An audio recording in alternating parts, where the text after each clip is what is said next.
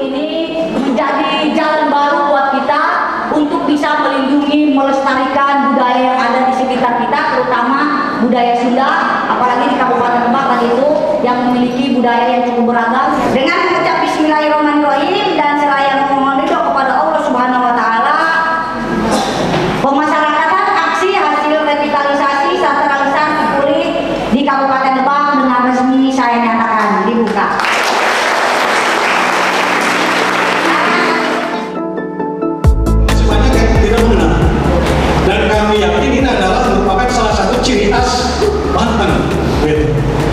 rencananya pemuli ini kami akan angkat tahun depan ke dalam salah satu mata lomba FTPI Festival Tunas Bahasa Ibu.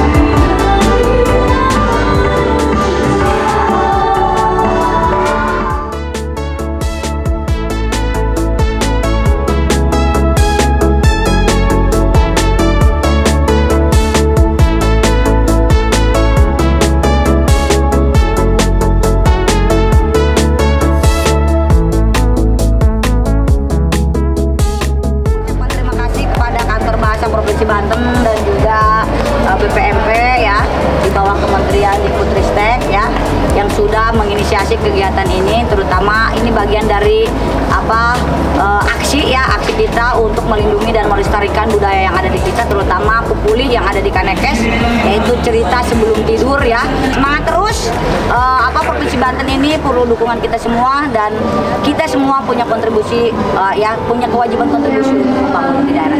Semangat terus.